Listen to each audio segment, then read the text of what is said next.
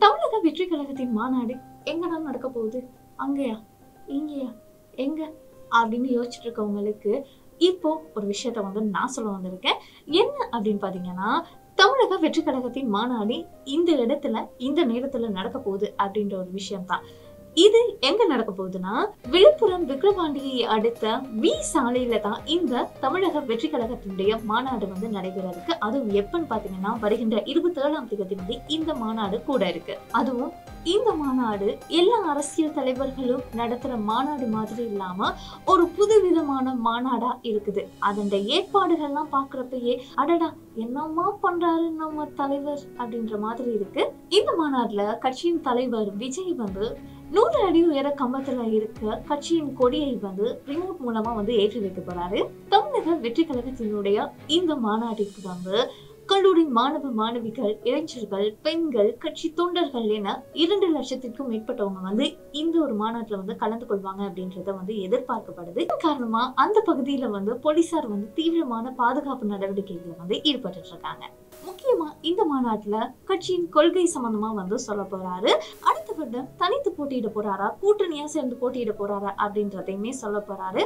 மேலும் இவர் வந்து அறிமுகப்படுத்திய அந்த கொடி இருக்கு இல்லையா? அந்த கொடியில வந்து சிவப்பு மஞ்சள் நட்சத்திரங்கள் யானைகள் இப்படின்னு நிறைய விஷயங்கள் இருக்கு. இதற்கெல்லாம் என்ன அர்த்தம் அப்படின்னு நம்ம யோசிப்போம். அதுக்கான விளக்கத்தையுமே வந்து அவர் அந்த ஒரு மாநாட்டுல வந்து சொல்ல போறாரு.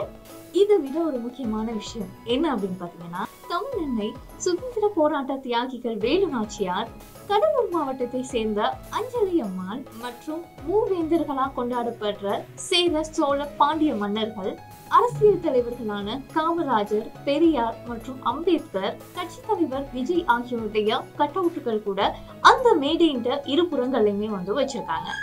தமிழக வெற்றி கழகத்தின் மாநாடு குறித்து விஜய் ஒரு அறிக்கையும் வந்து வெளியிட்டிருக்காரு. உங்கள் ஒவ்வொருவரையுமே நேரில் சந்திக்க போகும் அந்த தருணங்கள் வந்து இன்னும் இன்னும் அதிக அளவான அன்பை வந்து ஏற்படுத்தக்கூடியதா இருக்கு. அந்த ஒரு நாளுக்காக நானும் காத்திருக்கேன் அப்படின்றதையும் அரசியல் ஒழுங்கோடு உலகமே உற்று பார்க்கும் வகையில வந்து இந்த மாநாட்டை நடத்துவோம் என்பதையும் தமிழக வெற்றி கழகத்தின் கொடியை வந்து கைகளிலும் மனங்களிலும் ஏந்தி வாருங்கள் அப்படின்றதையும் சொல்லியிருக்காரு. வெற்றி நமக்கு தான் அப்படின்றதையுமே வந்து அவர் உறுதியா சொல்லியிருக்காரு.